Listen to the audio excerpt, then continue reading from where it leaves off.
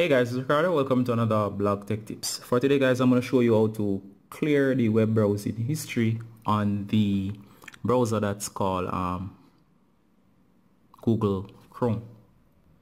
So that's also known as the Chrome browser or just Google Chrome browser. Alright. So first thing you want to do guys is just make sure you're connected to the internet. And of course, you're going to find the Chrome browser. Here we have Chrome. So I'm just going ahead and launch and once you have launched the browser next just click on the icons up here the three dots. Next you're gonna go to settings. And if you look through the information um, on screen here guys you should see a number of options. And just go down to privacy.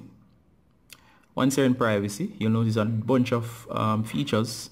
But the main one you're actually interested in is this one here that says um, clear browsing data. You need to scroll on a bit to see.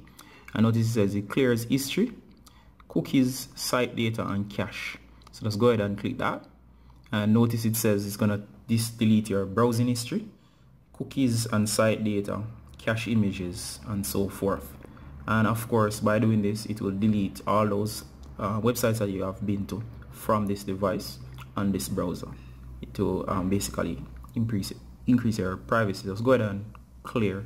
Data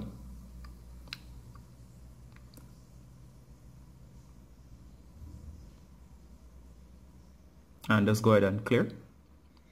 And that's it. And that's how you actually clear for um, the Chrome browser. You can actually exit. That's it guys.